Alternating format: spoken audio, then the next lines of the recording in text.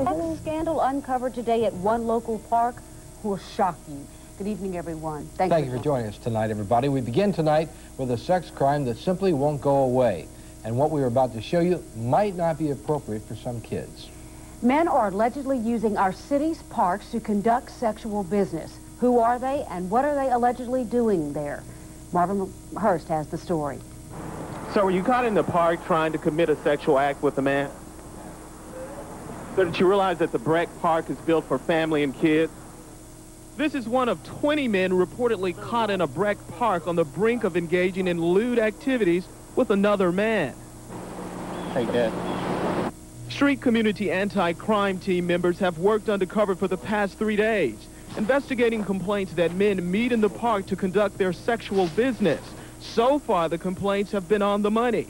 Unsuspecting pleasure seekers lead decoys right into what is thought to be their sexual lair. Like this man, who admits he got a little carried away. I heard him uh, say he wanted to watch me, so I was doing what, I, what he wanted me to do. He seemed to be enjoying it. Oh, there, folks, sir. Put your your back, sir.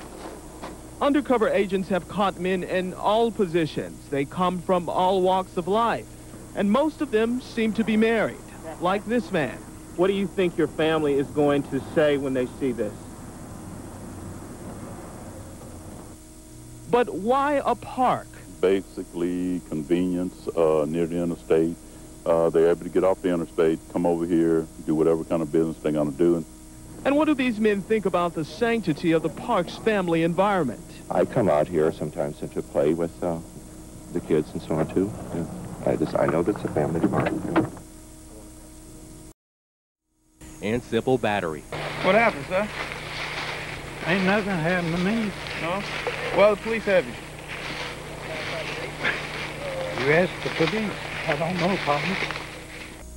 For alleged lewd sexual behavior in public parks. Deputies from the Sheriff's Department's SCAT team, very offensive. We want to caution you. WAFB crime team reporter Tarek Miner has the story. You'd be shocked at what you'll see during lunchtime at Forest Park. But today, these woods are under surveillance. He's still back here. He hasn't moved yet. He's still in the back. Deputies from the Sheriff's Department's SCAT team say lewd sexual encounters like these take place almost every day, just yards away from children. The man in the green shirt is an undercover deputy. The man fondling himself is 48-year-old Brian O'Neill. Deputies say O'Neill just requested a sexual favor. Get your hands up. Put your hands behind your back. SCAT team officials say they've been going undercover for the past three days after receiving reports of offensive behavior from park goers and neighbors.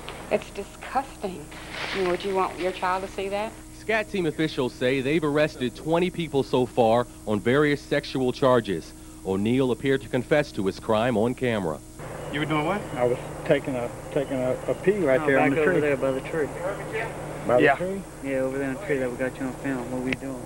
Uh, I guess fondling myself. Deputies say 95% of those arrested are married men. 77-year-old Doyle Galloway is charged with attempted crimes against nature and simple battery. What happened, sir? Ain't nothing happened to me. No? Well, the police have you. You asked the police. I don't know, Tommy. With photographer Joe McCoy, Tarek Miner, WAFB 9 News. Now remember, this raid was not deep in a wooded area. This was just 100 yards away from where people were playing tennis and golf.